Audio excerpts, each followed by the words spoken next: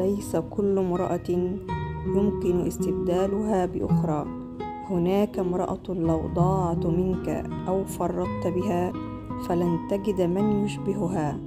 سوف تمضي بقية حياتك تجمع بقايا صورها من ألف امرأة أخرى ومع ذلك لن تتمكن من جمعها لتعوض غيابها أو مكانها.